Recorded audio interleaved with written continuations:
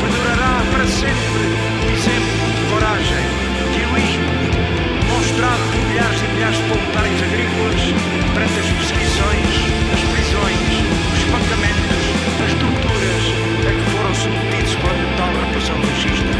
Jamais deixaremos, sem combate, a falsificação da história, da sua luta pela liberdade, pela democracia, pelo progresso das suas gentes, das suas terras seu país pela sua própria emancipação. A reforma agrária deu um contributo determinante para a defesa e consolidação da democracia como Estado em abril para responder às necessidades do país. À sua volta, se uniram as populações inteiras na sua realização e defesa e para as quais a reforma agrária se tornou justamente o maior bem, a mais querida conquista, o próprio motivo de gosto do trabalho de família.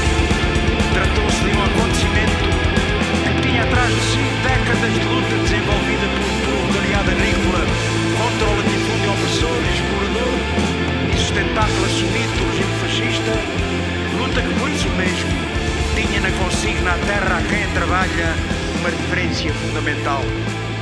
Uma longa luta marcada pela coragem e o heroísmo de milhares de homens, mulheres e jovens que não aceitaram a servidão, a exploração, a tirania dos latifundiários. Uma luta feita de muitos sacrifícios, imensos esforços e cuja história está escrita com sangue e com lágrimas, mas também com grandes e importantes vitórias.